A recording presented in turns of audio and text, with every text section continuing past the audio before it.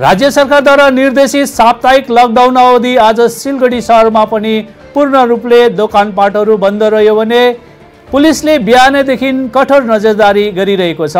विशेष गरेर कामविहीन घरबाट बाहिर निस्किनेहरूलाई पुलिसले हिरासतमा लिइरहेको छ।